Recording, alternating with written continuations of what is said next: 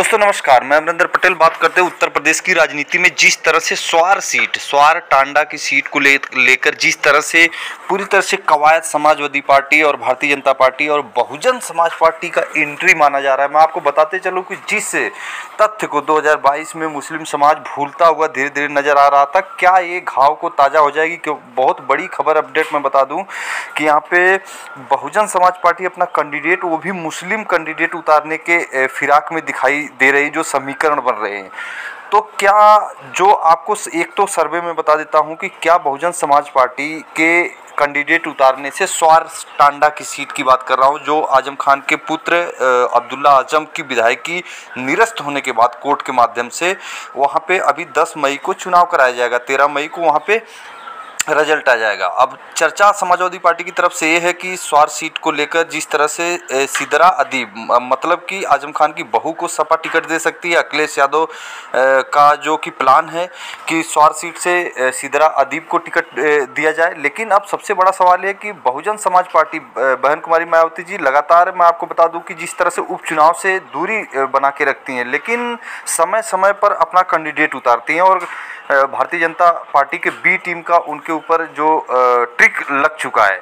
तो क्या यहाँ पे मुस्लिम कैंडिडेट उतारने से आज़म खान की जो ये सीट है, रामपुर की स्वार सीट है, जो आज़म खान के परिवार से कोई लड़ेगा तो क्या बहन कुमारी मायावती जी, ये इस सीट को आज़म खान को हरवाने के लिए लड़ेंगी? ये तमाम सारा विकल्प मुद्दे उठते हुए नज़र आ रहे हैं।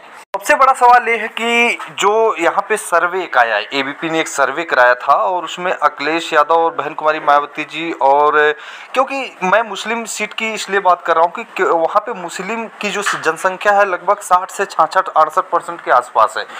तो क्या बहन कुमारी मायावती जी आजमगढ़ की तर्ज पर यहाँ पे कैंडिडेट उतार कर खेल खराब करेंगी?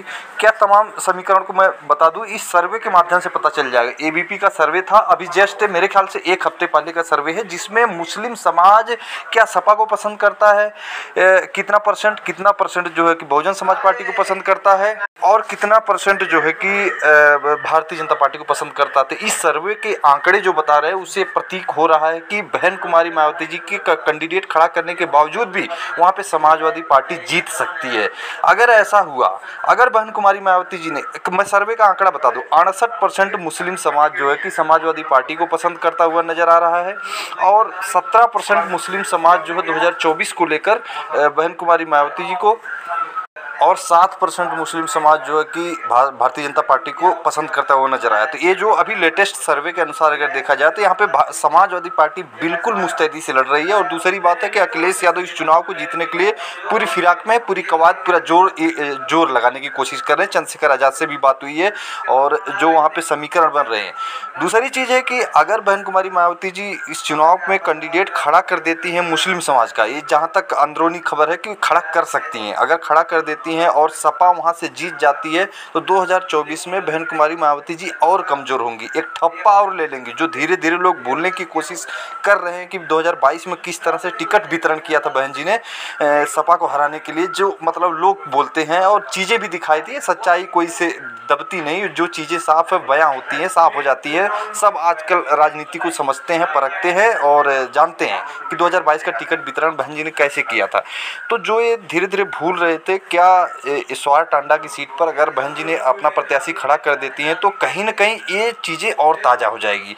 तो ये अखिलेश यादव को इसका फ़ायदा मिल जाएगा। तो अभी तक कितनी जानकारी थी, फिर मिलेंगे अगली वीडियो में, तब तक के लिए नमस्कार।